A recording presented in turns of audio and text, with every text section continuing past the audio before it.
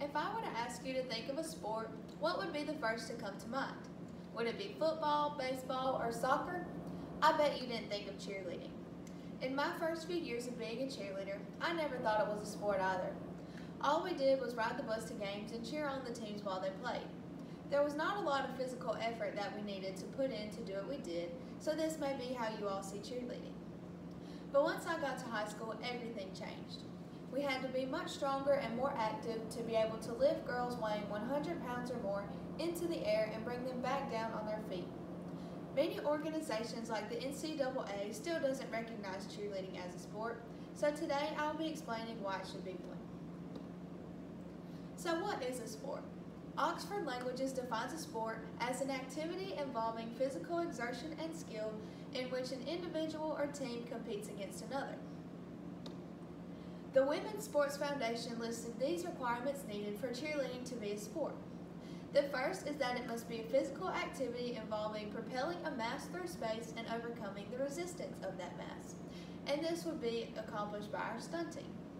Next, it must involve competing against an opponent and be governed by rules under which a winner is declared. And this is done at our competitions. Lastly, the primary purpose of competition is to compare the skills of each participant, and these can include stunting, jumping, and tumbling, which are all rated at competitions on these score sheets by their creativity, difficulty, and technique. Cheerleading meets all these requirements except for one. This would be that the primary purpose is competition, not cheering on high school and collegiate athletic teams. So for the most part, cheerleading meets the description of a sport, so now let's look at the physical aspect. Cheerleading requires lots of skill and physical ability, not just yelling cheers loudly and doing a few jumps. Professional cheer organization Empire Cheer says that it also requires athleticism, coordination, strength, flexibility, and dedication. Even though their routines only last about two minutes, cheerleaders spend countless hours practicing them over and over again until they're perfect. They often have to add strength training workouts to build up the muscle in their lower body, shoulders, and core. The base and back spot positions must be able to support the bottom of the stunt, so they'll need incredible strength, focus, and balance. The flyers need incredible strength and flexibility to be able to maintain different positions in the stunt. Stunting requires lots of training to put into practice certain skills for each position. Many people think that the base is the hardest. Every stunt needs a solid foundation, so without it, it'd be unsuccessful.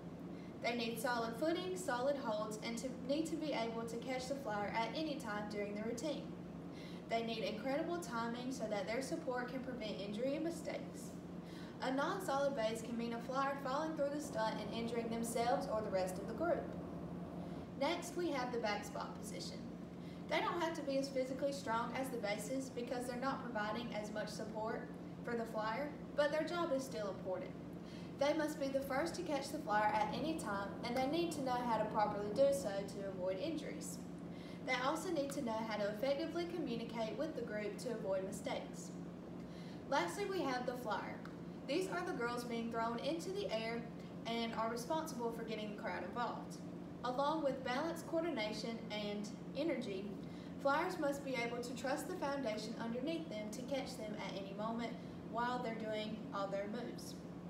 So they need to be able to flip and twist gracefully in the air, land safely, and continue on with their routine even if they fall through. As you can see, cheerleaders have many different positions and a different set of skills required for each one. Now let's see the dangerous aspect of performing these skills. One of the most dangerous sports in terms of serious injury is cheerleading.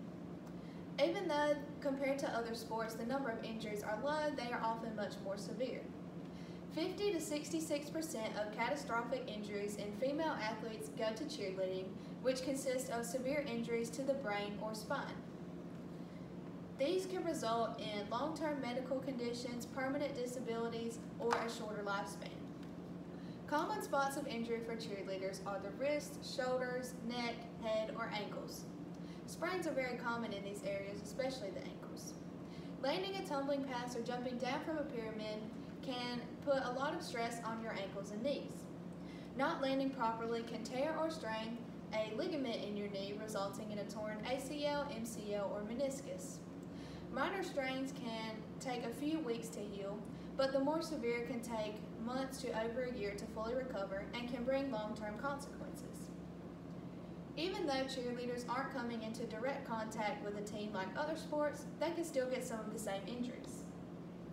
According to the National Children's Hospital for Injury Research, cheerleaders have a higher chance of getting concussions, sprains, and fractures than football players. Concussions come in every sport, but they are becoming a lot more common in cheerleading. Stunting accounts for 42 to 60 percent of all cheerleading related injuries, and 96 percent of those are concussions. Some schools are saying they see more concussions coming from the cheerleading squads than the football and soccer teams. Without the proper training on how to toss and catch the flyer, these injuries will continue to occur. So, as we conclude, I will be explaining why the recognition of our sport is important to the safety of our cheerleaders. Today we discussed the many reasons why cheerleading should be a sport, including how it fits the technical description of a sport, the physical exertion and skill they display, and the dangers of performing these skills. Earlier I asked you to think of a sport, and hopefully by now you can add cheerleading to that list. But was the point of my whole speech just to add an activity to that answer? Why should we even care if cheerleading is a sport or not? Let me tell you why. Orthopedic surgeon Dr. Hans Olsen says since many organizations still don't recognize cheerleading as a sport, they don't have to follow consistent safety regulations.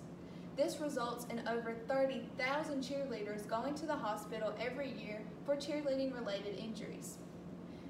The lack of recognition we get um, also results in less scholarship opportunities, improper training and conditions, and less qualified coaches.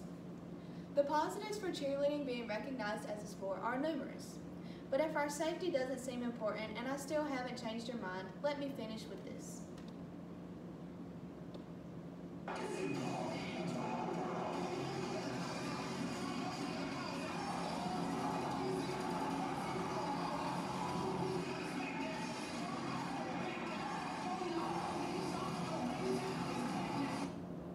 Other teams throw balls around while we throw at other teammates. Which to you is harder to catch?